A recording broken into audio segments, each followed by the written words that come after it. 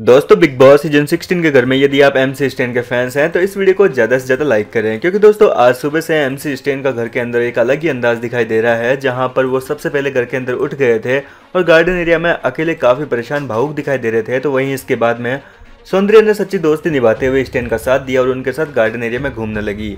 इस दौरान घर के बाकी सदस्य गहरी नींद में सोए हुए थे, यानी कि बिग बॉस ने घर वालों को नहीं उठाया था। और वहीं दोस्तों सौंदर्या शर्मा से बात करते हुए एम सी स्टेन का मन काफ़ी हल्का हो गया और इसके बाद दोनों जब गार्डन एरिया में बैठकर बात कर रहे थे तो उस दौरान एम सी स्टेन काफ़ी अच्छे मूड में दिखाई दिए। दरअसल सौंदर्य से बात करते हुए वो काफ़ी हल्के हो गए थे। उनके मन में न जाने कौन सा डर था, कौन सा उनके मन में क्या गिल्ट फील हो रहा था, जिसकी वजह से वो परेशान थे। लेकिन सौंदर्य ने उनका मन हल्का हल्का कर दिया, जिसके बाद में वो बिग बॉस की तारीफ़ करते हुए नज़र आए।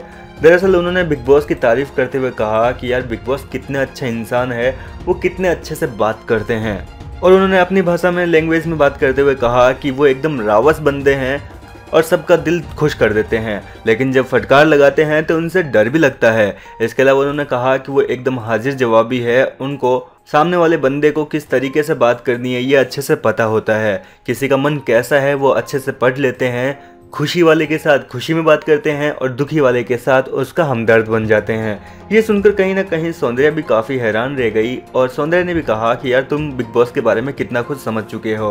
और सौंदर्य भी यहाँ पर सुबह सुबह बिग बॉस की तारीफ़ करते हुए नज़र आई। फ़िलहाल दोस्तों, आपको स्टैंड की बातें कैसे लगी कमेंट करके ज़रूर बताएँ। यदि आप भी एम सी स्टैंड के फैंस हैं तो वीडियो को लाइक करना ना भूलें।